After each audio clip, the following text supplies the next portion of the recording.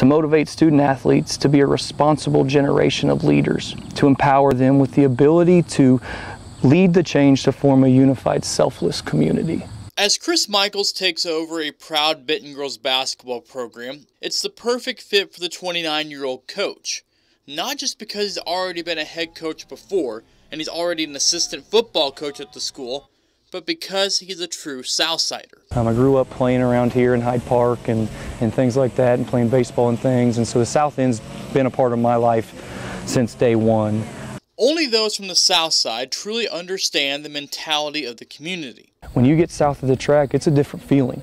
You know, you drive over those railroad tracks and immediately you know that you're in a different style. Everybody down here knows everybody. Michaels believes he can relate to this generation of Benton students because he once walked through those same halls and played on the same courts and fields. We were rich in things like um, love and passion and, and, you know, accountability we were rich in, but with money we weren't rich there. And, you know, I got a lot of kids that play for me that they struggle paycheck to paycheck, and that's what we did when I was growing up. And so it's not any different for me to look at them and go, look, this is this is normal. Let's go. Let's go to work.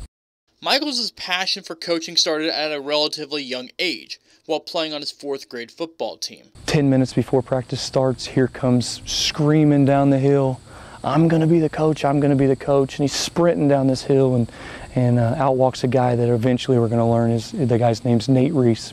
He found the mentor he wanted, someone who believed in him, but the relationship only lasted just a few short years. Going into my seventh grade year, um, June 3rd of my seventh grade year, I'm woken up by my dad. Um, and, and, he looks at me and he says, You know, um, Nate's passed away. What he instilled in me is be a good person, have a personality that people want to flock to, be a leader, don't be a follower.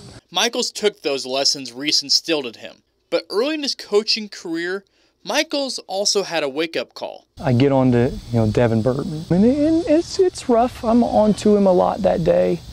And Tabor pulls me aside and he says, look, do you even know his story? Do you know what he comes from? Do you know where he's from and what he believes in? And I said, no.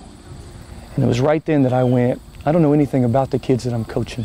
The teachable moment created a lasting bond between Michaels and his players. And so I tell my kids all the time, like, you're loved by more than just one, but know that you're loved by one.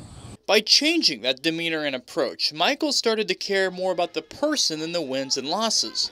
Success is things that I control. Um, I can control things in my life, and there are other things in my life that I can't control. We're going to talk and, and get the girls' opinion and get all these coaches' opinions and see how we're going to measure our success for this year. But I can guarantee you that it, I'm not going to measure my success on what, you know, the, the wins and losses are. And my kids aren't either. Chris Roush, KQ2 Sports.